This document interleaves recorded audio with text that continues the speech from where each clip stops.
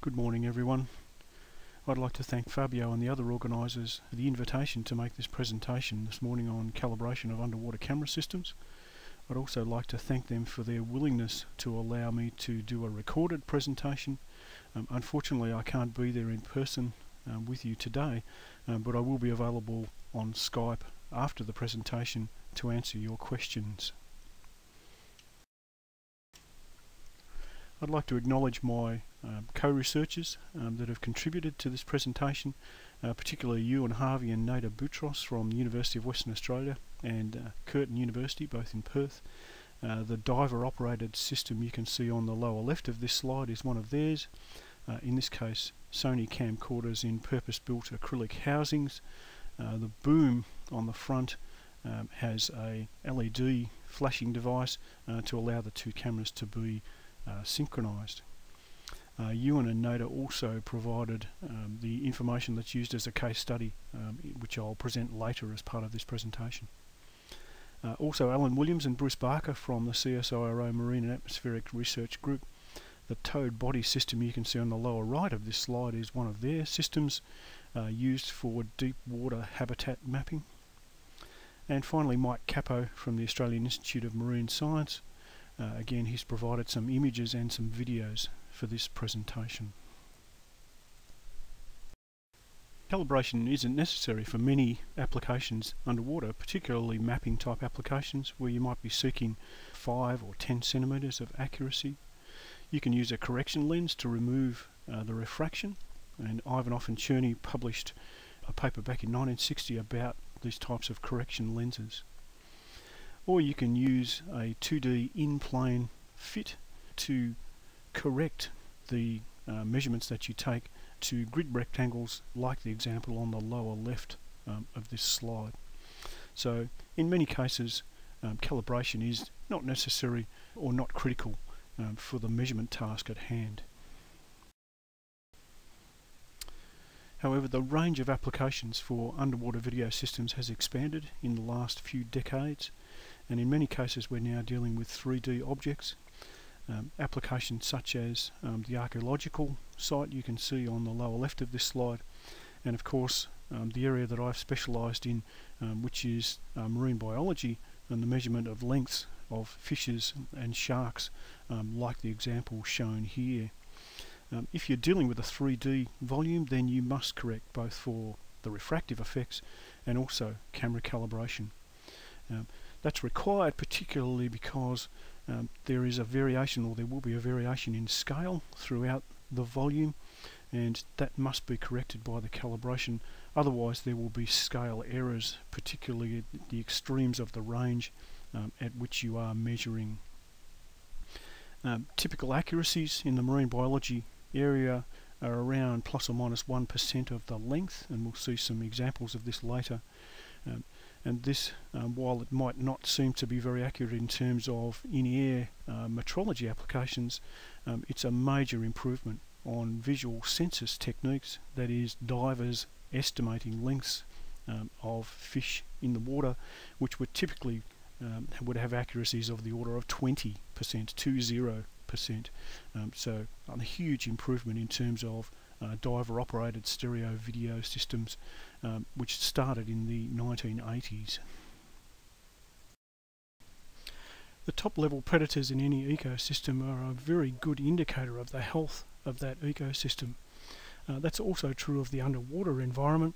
So the top level predators like sharks and tuna um, and that type of fish um, are good indicators of the health of that marine ecosystem. Uh, if you can measure the biomass or the weight of the fish, um, then any changes to that biomass measured over time or space um, can give you early warning um, of changes to the environment.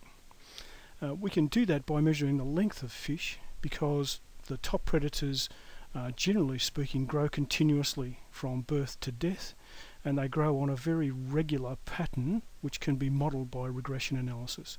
So if you can measure the length of the fish you can quite accurately estimate the biomass of the fish. Uh, that has the obvious application to reef communities uh, where you can do regular sampling of the fish and look at changes in the overall biomass of particular species. Um, it also has strong application to the aquaculture um, industry. Um, the fish are caught, um, in this case southern bluefin tuna, um, in the open ocean and are transported into the aquaculture facility at Port Lincoln in South Australia. There are very strict quotas um, on catches to ensure the sustainability of the species. So that can be done by measuring um, the fish as they are transferred from the um, the catch phase to the the grow out cages or the fattening cages. And then another application is to look at growth rates, so to look at the uh, efficiency of the feed regimes and the fattening of the fish before they're taken to market. Uh, in this slide on the lower left you can see a, a relationship for herring uh, between weight and length and see um, that curvilinear relationship which is very regular. Um, and on the lower right you can see a, a, validation exercise that we did at Port Lincoln where we measured the length of the fish with and a number of other um, measurements with the stereo video system and then did a validation of those measurements using calipers and um, then weighing the fish individually. For most top predators in an ecosystem there's also a curvilinear relationship between length and age. You can see here on the left of this slide uh, again a, a, graph for herring um, showing that relationship and on the right we see a population distribution that's been derived from sampling many fish, in this case Snake River salmon. Um, you can see uh, in here that there's quite a um, large dip in the population distribution, um, clearly showing that there is some impact, um, possibly from overfishing, um, on that population. Uh, photogrammetry has the um, great advantage that it is non-destructive um, in determining population distributions. Uh, the other classic method of determining age of fish is to extract the otolith, which is a bone in the ear of the fish, and look at the rings, uh, similar to the rings um, of a tree, and from that you can determine age. Um, but of course, you have to kill the specimen um, to extract the bone. So, underwater stereo video systems have the advantage um, that it's non destructive sampling. You can look at the population distribution over time or over spatial extents, uh, again to determine the impact um, on populations um, over um, a period or over an area, uh, again with reference to other factors that may be happening within that space. In this slide we see a graph of frequency versus length for fish um, taken from many samples of different species um, in a particular area, in this case Bowling Green Bay, um, over um, uh, period and it shows how rich and detailed the information can be um, of um, the fish within a particular region or ecosystem or indeed a marine protected area.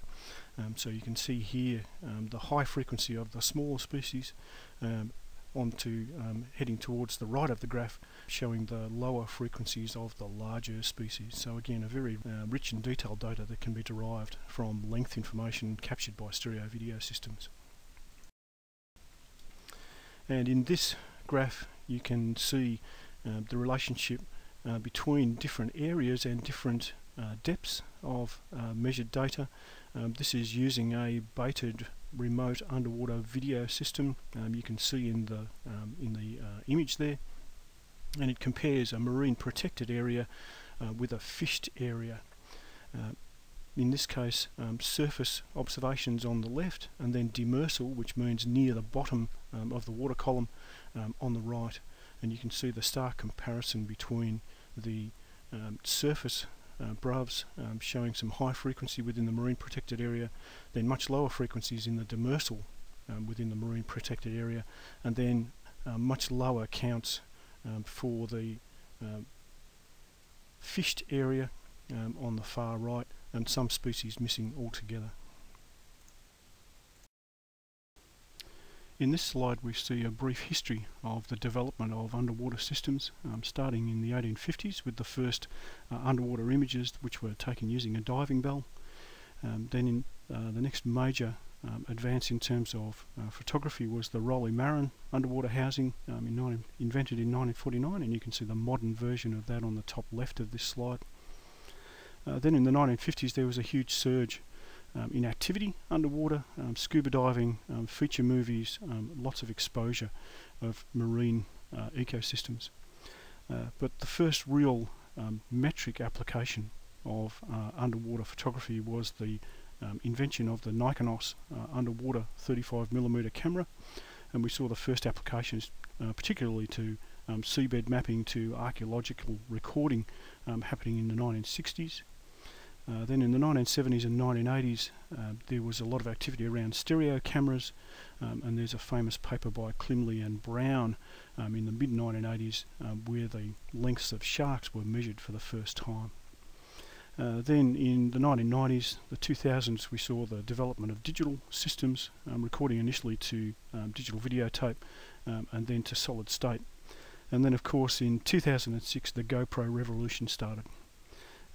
The calibration uh, techniques that have been used have um, evolved with time and have certainly become more rapid um, as the systems have developed and um, the demand of so much video, so much um, capture of imagery underwater um, has really generated the demand for very rapid calibration techniques. Calibration techniques underwater can be broken down into three primary types. Uh, the first is shown here on the top left, um, which is a correction lens. It um, effectively makes the water invisible by correcting for the refraction at the um, glass water interface. Uh, it's similar to the dome port approach that we see on many camera systems and it gives you a very consistent field of view for the camera. On the top right um, we have a pre-calibration process. So you see the Manhattan type 3D test field which can be lowered into the tank with the cameras and the cameras are pre-calibrated. Uh, this comes from a paper by Turner in 1992 um, where they were pre-calibrating cameras to then measure corrosion on the uh, legs of oil and, and gas platforms and rigs in the North Sea. But by far the most common technique in recent times is in situ calibration using a calibration fixture of some type. So we see the typical geometry um, on the lower left of this slide and then the process of measurement on the lower right of the slide. The geometry of the network is typical of any type of calibration. So here the stability of the camera system, the convergence and the redundancy are all paramount to ensure an accurate calibration. On the right of the slide we can see that they're using a LED device to allow synchronization between the left and right cameras of the system and they're rotating the object rather than the cameras. Uh, the cameras are less maneuverable, especially the larger systems. Those types of systems are less maneuverable, so it's easier to move the object than it is to move the cameras. But again, the same considerations apply between in air and in water.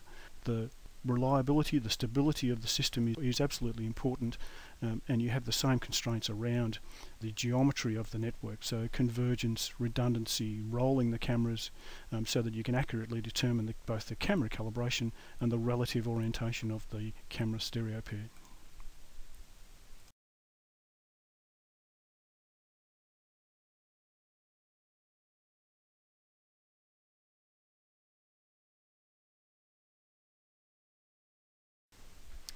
Uh, over the years there's been many debates uh, about um, what is a self or a system calibration, what's pre-calibration, what's in situ calibration, um, and I don't want to reopen that debate. Um, most of the approaches that we see underwater um, are what I would call really pre-calibration using a self-calibration technique. Uh, there's relatively few examples, true examples of self-calibration where the object of interest is used as the calibration object. Um, a paper by Huey et al. Um, using, um, sorry, measuring um, fishnets underwater um, is one of the few examples that I've seen. most approaches use the pre-calibration approach, either in situ, so in the same area as the measurements are made, or in a swimming pool or in a tank prior to the calibration. Um, in situ calibrations with the calibration fixture use a self-calibration approach. The advantage is that the self-calibration object, the calibration fixture, only needs to be uh, have geometric stability for the period of the measurement for the calibration. Um, so large objects used as calibration fixtures can be disassembled and transported between different sites. Uh, then you use the starting coordinates for the targets um, to initiate um, the um, calibration processing. you must have scale um, within the calibration fixture or within the calibration field um, so that you can um, accurately determine, um, for example, the baseline between the two cameras in a stereo pair. Um, that can be provided using scale bars, it can be provided using known distances on the calibration fixture between targets. Um, and again, the stability of the camera and the optical path, that is the relationship between the lens of the camera and the housing, um, must be stable um, during the self-calibration. Self-calibration techniques can be broken down into at least three categories, um, possibly more, and we may hear about more approaches during the workshop over the next couple of days. However, uh, there are three main areas, I believe. Uh, the first is absorption by the standard physical parameter set, um, where the uh, standard physical parameter set is used to um, correct for the refractive effects. Um, the second approach is a geometric correction approach where um, the geometry of the housing um, is um, modelled and ray tracing is used to correct for the refraction. And then the third option is the more generic approach um, which uses a perspective center shift. Um, it comes from a recent paper by Telem and Filin. Um, the relative orientation must also of course be computed along with the camera calibrations um, and this can be computed either using a constrained network solution or from doing some post-processing from the network output data um, so you either have a, um, a base and rotation constraint between the cameras within the network or you look at the uh, positions and orientations of the cameras that are produced by the network and derive from them the relative orientations um, of the cameras. In this slide we see um, a table giving some comparisons between the advantages and disadvantages of the different techniques.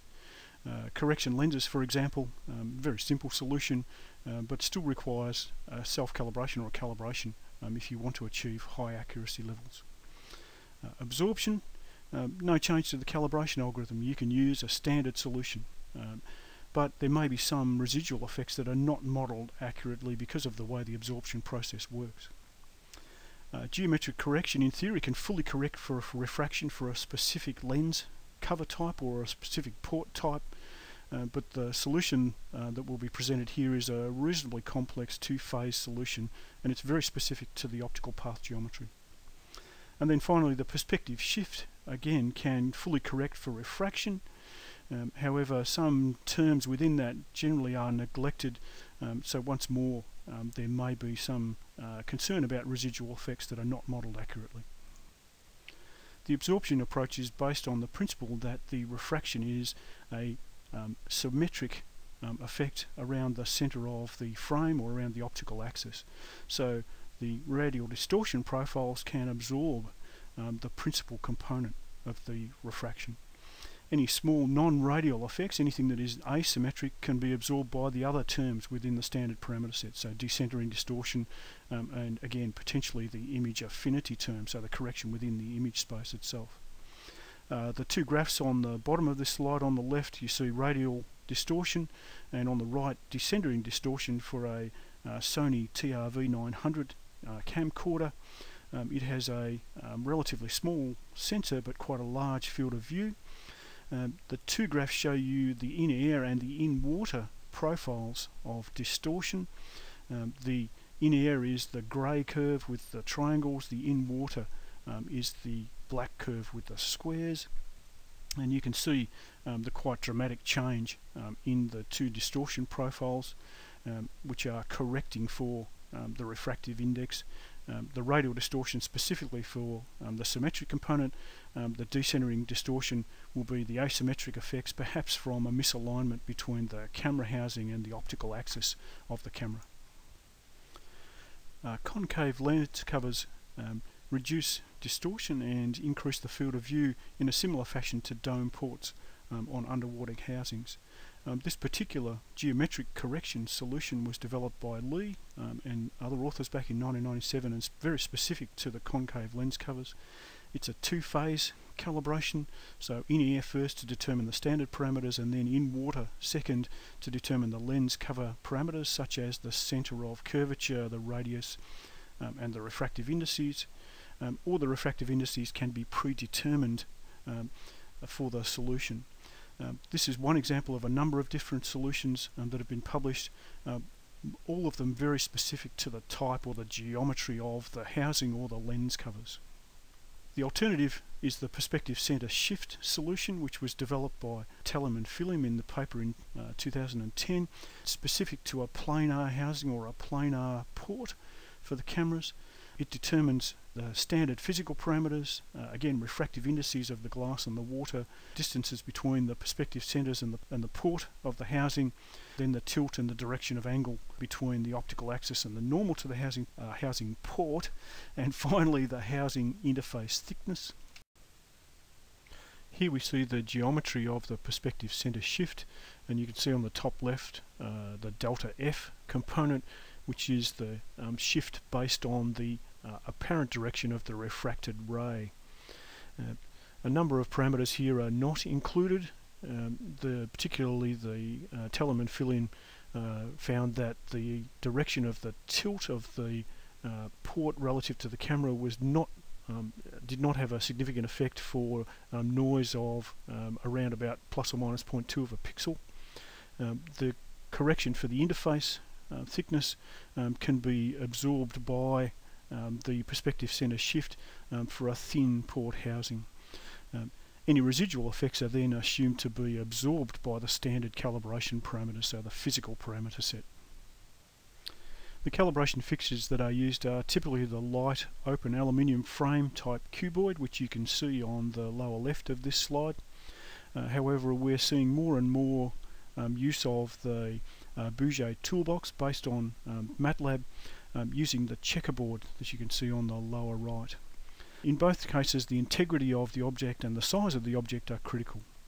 Um, the object has to retain its integrity for the duration of the imagery.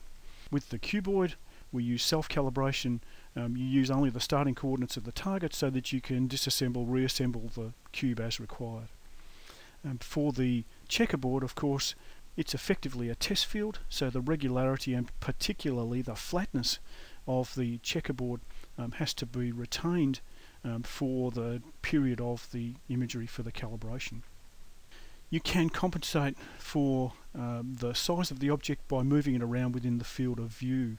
It's important to ensure that you get full coverage across the field of view and this is regardless of whether calibration's in air or in water to make sure that you get a very accurate estimate of the distortions across the entire field of view and of course the refraction throughout the entire field of view. Um, size is also a critical factor. Um, the fixture must suit the expected distance range of the measurements that you're going to take or the volume of measurements you're going to take. So the fixture should be um, a similar size. Um, the um, um, alternative again is to move the object around to fill in the range. this is the typical extrapolation interpolation issue that um, you have to fill that volume to ensure that you um, don't have extrapolation effects where you might get scale or other systematic errors.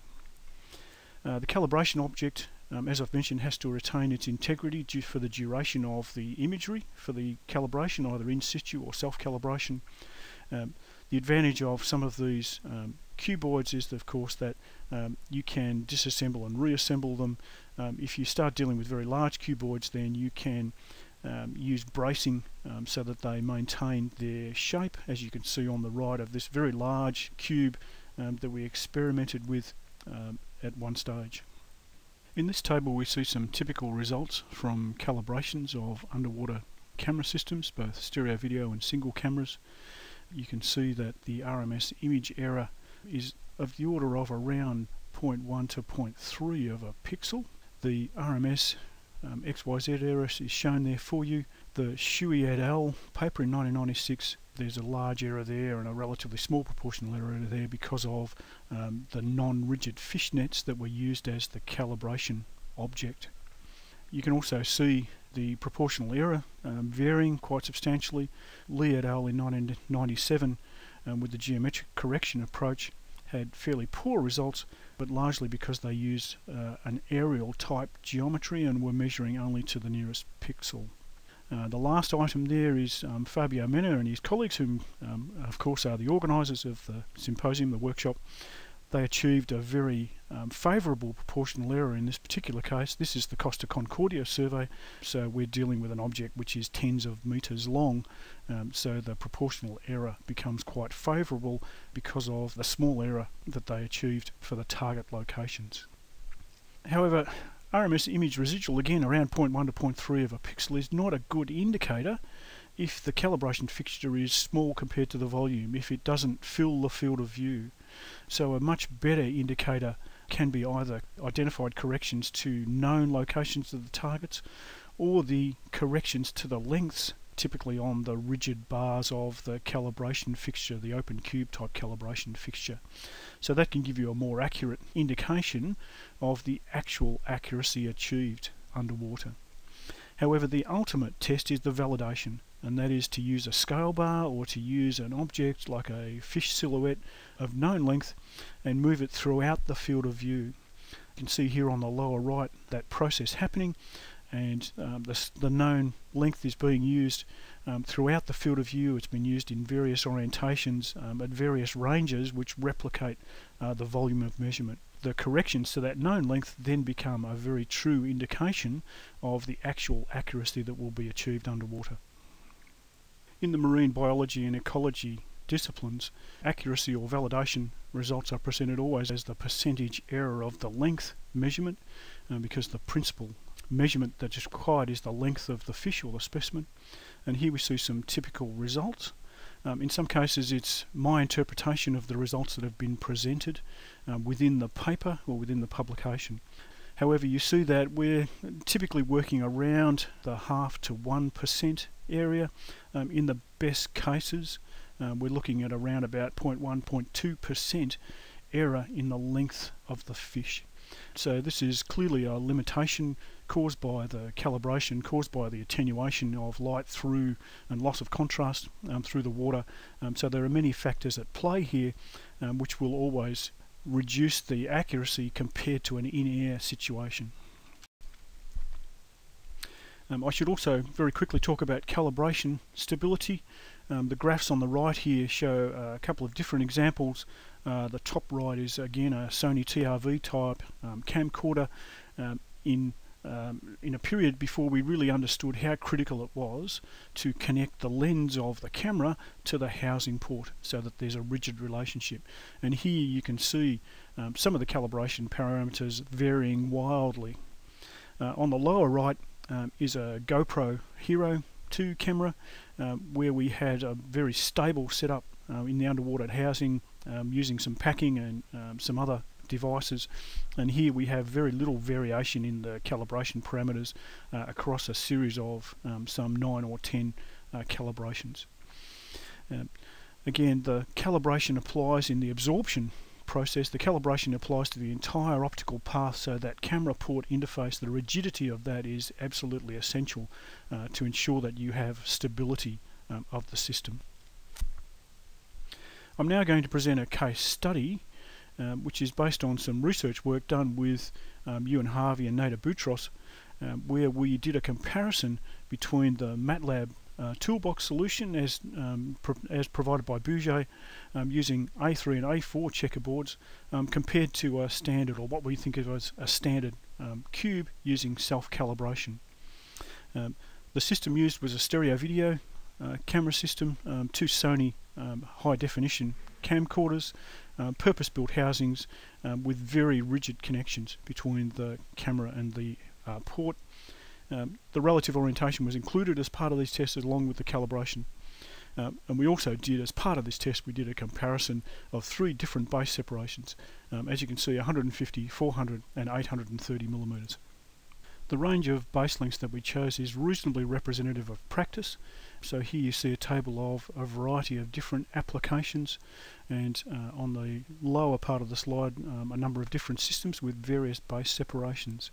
Typically there's a very strong correlation of course between the base separation and the intended range of measurements so that you have a reasonable base to height ratio as we like to think of it in terms of aerial photography. Uh, the system on the lower right um, with a, a 1.4 meter baseline um, was one of our early test systems um, and it worked beautifully and gave fabulous results but maneuverability was of course very poor because it was such a large system. The other systems you can see there are both drop baited remote underwater video systems, drop cameras if you prefer, and diver operated systems. This graph shows the results of the validation tests um, indicating measurement accuracy for the three types of calibration. Uh, this is based on five calibrations and then five replicate measurements of a known length within the field of view. You can see the results for the A4, A3 checkerboards and then the cube and note the split in the vertical axis indicating that the A4 calibration approach produces significantly poorer results than the other two approaches. Here we have graphs of the variation in parameters from a series of five calibrations for each calibration type. The boxes give you the weighted mean and range of the calibration parameters. The error bars again are one standard deviation and I think it's very clear from this graph that the results with the cube are very very consistent um, compared to the A4 and A3 checkerboards. Clearly the A4 checkerboard because of again size related issues is um, the weakest of the three solutions. Uh, here we see a comparison between the three base separations for the Sony camcorders. Again, this is based on five measurements of the standard length at each of those ranges, starting at 2 meters and finishing at 12 meters. Uh, you can see that there is still some bias in all three systems. At the largest base separation, bias is running at around about um, half to 1%. The surprising um, result here, I believe, is that the very short base of 150 millimeters um, performs remarkably well out to about 8 or 9 meters um, and then deteriorates quite rapidly because of the short baseline. But nevertheless, it's surprising how well that very short base performs um, across that range. The ultimate test of these systems in terms of uh, marine biology and ecology um, measurements is to look at the, the biomass estimate, that is the weight of the fish. So using the correlations that we've seen before, the curvilinear relationships between length and weight, uh, we can simulate the error that would be experienced for a 400 millimeter length snapper, typical fish in Australian waters, and you can see the comparison here across a range of 2 to 8 meters using the cube, the A3 and the A4 checkerboard. And of course you can see with the A4 checkerboard the poor accuracy performance from around about 5 metres starts to impact and out at 8 metres which would be a limit of the range based on both um, sensible practice and also visibility in most circumstances. Uh, but the error is getting quite large almost 50% error in the weight of the fish. Um, and we see here the comparison between base lengths.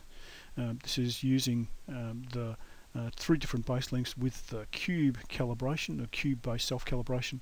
Um, and again, you can see with the very short baseline uh, beyond about 8 meters, um, with also some other areas where the uh, performance is questionable, but certainly beyond about 8 or 9 meters for the 150 millimeter base and beyond 10 meters for the 400 millimeter base, um, the errors become quite significant.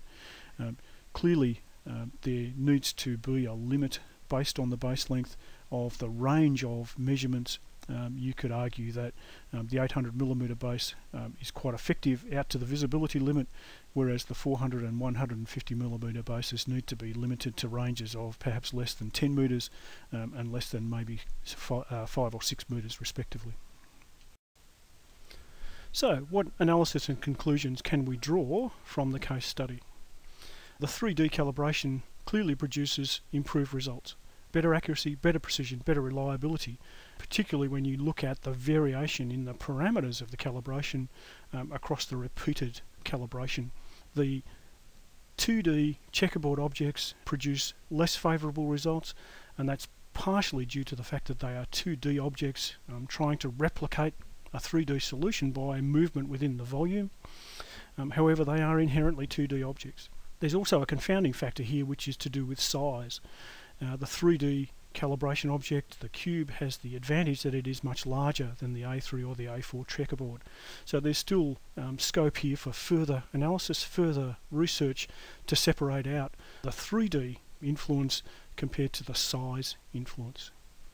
For me, the surprising result here was the performance of the stereo cameras with short baselines. The short baselines gave surprisingly good results out to the edge of visibility and out to a range which would be limited by common sense and is reflected in um, the typical practice um, as we saw in the table showing the relationship between measurement range and baselines. However, it's equally clear that the performance deteriorates very quickly at longer ranges. So there must be some sensible limits to the range over which um, you would measure with those short baseline systems. The proliferation of cameras like the GoPro and um, digital camcorders and indeed digital SLR cameras um, that can operate in different modes um, is generating the need for different approaches to calibration and certainly more rapid calibration and that's partially also because of the sheer volume of recordings um, that are being made that require analysis. Um, of course, the GoPro can operate in different modes in terms of resolution, in terms of field of view, in terms of um, the frame rate. And similarly, um, digital SLR cameras um, can operate in movie modes, and um, it's been shown by other research um, that those still and movie modes are not transferable. So you require separate calibrations in still mode and in movie mode. So I, believe that there is a lot of fertile ground here in terms of calibration research um, to determine um, which techniques are going to uh, be most suitable for the different modes of operation um, for the different settings that cameras may have. Um, equally, different algorithms are likely to provide um, improved results um, depending on the housing type. Uh, for example, you could surmise, um, untested, but you could surmise um, that the plane type port on some housings um, may suit the absorption method. So a very simple geometry may mean that absorption is very effective. Uh, whereas um, you might expect that curved acrylic housings, the dome ports, um, may produce improved results with geometric corrections um, simply because of the complexity of the ray tracing uh, between the object in the water and um, the image um, in the focal plane. Again, there's lots of scope here for research uh, to determine what are the optimal approaches and what are the optimal techniques. So, thank you for listening. Um, I appreciate the opportunity to make this presentation um, and I'm uh, available um, via Skype um, to answer any questions that you may have. Uh, thank you again.